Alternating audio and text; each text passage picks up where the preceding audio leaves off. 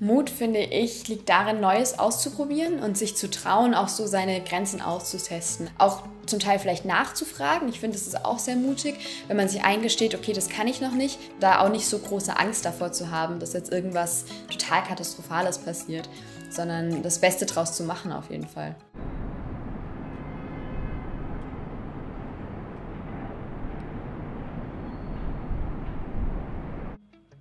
Ich bin Lilith und ich wohne momentan in Dresden. Ich studiere hier internationale Beziehungen im Bachelor und bin 21 Jahre alt. Nach dem Abitur, das stand für mich schon super früh fest, bin ich erstmal ins Ausland bzw. habe so eine Art Gap Year gemacht. Und das habe ich mir vor allem selbst zusammengestellt. Ich wollte für ein halbes Jahr an einen Ort.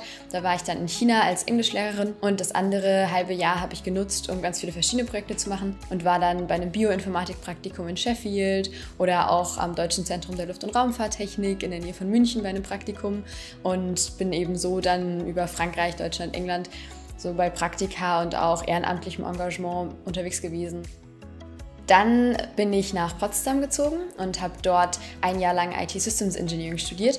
Also praktisch eine Mischung aus Informatik und so ein bisschen Jura, Wirtschaft noch mit drin als Fächer. Und hatte das dann auch schon so ein bisschen drauf angelegt, dort mal ein Jahr mich fortzubilden, mich weiterzuentwickeln und dann eben zu schauen, währenddessen in Deutschland, wo will ich denn dauerhaft hin, wo soll dann wirklich mein Bachelorstudiengang stattfinden diesen Studiengang Internationale Beziehungen. In dieser Form gibt es tatsächlich nur hier in Dresden, also auch nicht wirklich im Ausland. Und dieses Modell hat mir sehr, sehr gut gefallen und deshalb bin ich nach Dresden. Ich war dann auch drei Tage hier, um mir das mal anzuschauen und mit den Leuten hier vor Ort zu reden. Und dann haben mich sozusagen Inhalt des Studiums und Stadt zusammen überzeugt. Zu Hause ist für mich äh, schon noch so ein bisschen, glaube ich, da, wo meine Eltern gerade sind. Aber ich finde es eigentlich auch schön, jetzt dadurch, dass ich ein Jahr schon in Dresden wohne, wenn ich dann zum Beispiel von meinen Eltern auch hierher komme, dass ich eben einfach hier auch irgendwie ein Zuhause habe.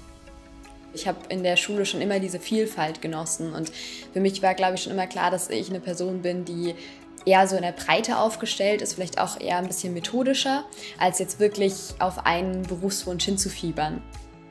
Ich glaube, man erkennt daran, ob es der richtige Studiengang ist, dass man vielleicht super viel zu tun hat, aber das gerne macht. Also ich bin immer wieder daran, dass ich denke, boah, jetzt habe ich schon wieder so viele Stunden für die Uni irgendwie investiert, aber gleichzeitig ist es einfach auch sehr interessant und es macht Spaß und das fühlt sich halt nicht so an, man muss dazu gezwungen werden oder ähnliches, sondern ich belege dann auch zu viele Kurse in Anführungszeichen, einfach weil es interessant ist und weil ich hier eine Möglichkeit habe, was zu lernen. Also ich denke, es gibt immer so ein paar Prioritäten, nach denen man geht, aber ansonsten ist es bei mir eher eine lockere Struktur. Also, dass ich da eben auch diese Abwechslung lebe und dann mal ein paar Stunden etwas für die Universität mache, ein paar Stunden was für die Ehrenämter oder auch für meine Hobbys, die ich noch habe. Und da dann das relativ flexibel eigentlich gestalte. Also immer so da, wo es gerade reizend ist, wo es gerade spannend ist, wo man was Neues lernen und mitnehmen kann, da fließt dann auch die Energie und Zeit hin.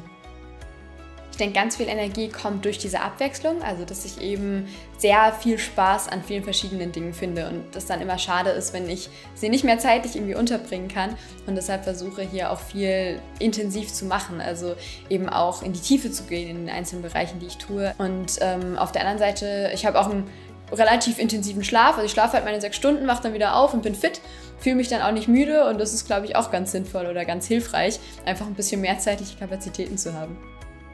Das fühle ich auch so, dass ich eigentlich immer energiegeladen bin und immer Lust habe, Dinge zu tun und was zu unternehmen. Und ich bin jemand, der sich nicht so lange ärgert über Fehler, die ich begangen habe, sondern ich bin eine totale Verfechterin von aus Scheitern lernen oder es gibt eigentlich gar kein richtiges Scheitern, weil man eben immer Learnings daraus mitnimmt. Wie kann ich damit jetzt weiterverfahren und dann gehe ich weiter meinen Weg sozusagen oder ändere den Weg so ein bisschen nach diesem Ereignis ab. Aber das ist, denke ich, was sehr Wichtiges, dass ich da optimistisch bleibe und so ein bisschen in die Zukunft gucke.